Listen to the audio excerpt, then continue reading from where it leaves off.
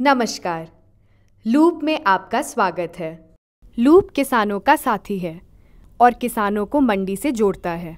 बिक्री की एंट्री करने के बाद एक एंट्री दिखेगी, जिसके नीचे लाल रंग की गाड़ी का चित्र है।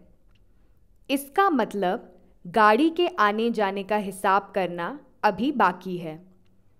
गाड़ी के आने जाने का खर्चा जोड़ने के लिए लाल गाड़ी वाले चिन्ह को छुएँ। गाड़ी मालिक का नाम लिस्ट से चुनें। जिस गाड़ी में सब्ज़ी लोड करी गई है, उस गाड़ी का नंबर चुनें। और उस पर दिया गया किराया रुपए में लिखें। छोटे सही के बटन को छूकर भरें। अगर कोई अन्य गाड़ी भी गई है तो उसकी एंट्री यहीं पर फिर से भर लें। गाड़ी मालिक का नाम भरें। गाड़ी चुनें। किराया भरें। छोटे सही के बटन को छूकर भरें। सभी गाड़ियों का किराया जैसे जैसे आप भरेंगे, जुड़ता चला जाएगा।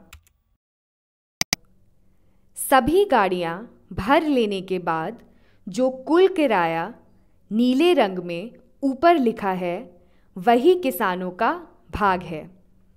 उसे किसान के भाग में लिखें। बगल में बने, दूसरे छोटे सही के चिन्ह का बटन छुएँ। सबसे नीचे वाले बड़े सही निशान को दबाकर लिस्ट में जोड़ें। गाड़ी का निशान अब हरा हो चुका है। गाड़ी के आने जाने का कुल किराया भी जुड़ चुका है। इस प्रकार आप आसानी से गाड़ी के आने जाने का खर्चा जोड़ सकते हैं। तो जैसा आपने देखा, लूप ऐप का इस्तेमाल करना बहुत ही आसान है।